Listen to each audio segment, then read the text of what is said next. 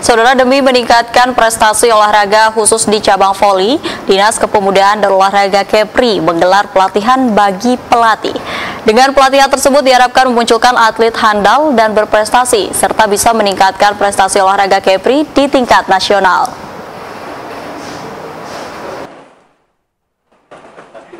Pengurus Persatuan Bola Voli seluruh Indonesia Provinsi Kepri menggelar pelatihan selama lima hari untuk pelatih seprovinsi Kepri di Hotel Davina Lubuk Baja, Kota Batam.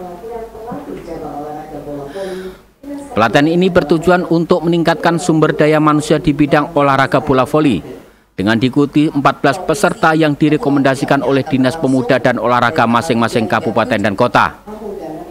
Sementara untuk narasumber, Pengprov PBVSI Kepri mendatangkan dua narasumber dari kota Surabaya.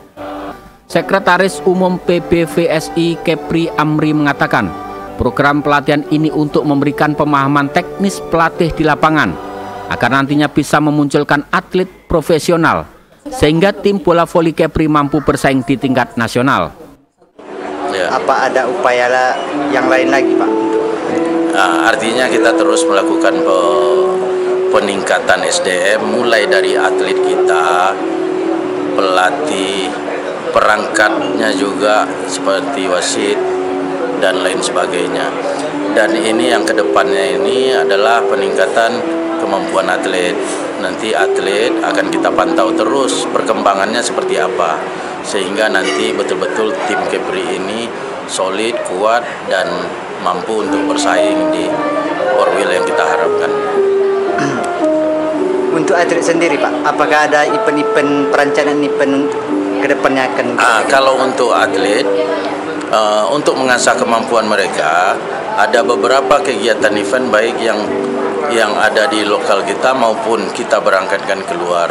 Itulah nantinya untuk uh, meningkatkan kemampuan. Sementara itu, Ketua Umum PBVSI sekaligus anggota DPRD Kepri Ririn Warsiti mengatakan, Program ini merupakan lanjutan dari program yang telah dilaksanakan pada tahun lalu.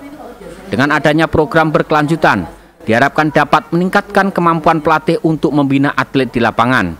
Sebetulnya pelatihan pelatih ini sebetulnya apa namanya lanjutan dari pelatihan pelatih yang tahun lalu kita adakan khusus untuk masalah teknik dan ini di Indonesia baru pertama kali diadakan ya program lanjutan penyusunan uh, program latihan khusus untuk pelatih ini memang uh, kami adakan PBVSI bekerjasama dengan Dispora Provinsi agar supaya para pelatih-pelatih yang ada di bawah binaan PBVSI uh, eh, Pulauan Riau ya lebih aktif lagi. Karena tidak semua pelatih bisa menyusun program untuk uh, program latihan untuk atlet ya. Makanya hari ini khusus program ini diadakan secara kurang lebih lima hari ini agar supaya para pelatih, pelatih dengan adanya pelatihan bagi pelatih ini Dinas Pemuda dan Olahraga Kepri menargetkan pada Porwil Kejurnas serta PON mendatang, atlet-atlet bola voli Kepri bisa menyumbangkan medali.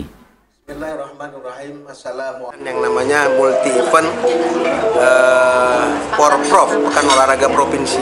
Tentunya setelah itu ke, ke tahun depan, tahun 2023, targetnya adalah bagaimana ikut uh, Porwil uh, ke Jurnas sampai nanti pada akhirnya kegiatan ini di eh, PON atau PON lah untuk ke depan di tahun 2024 PON itu targetnya ke depan.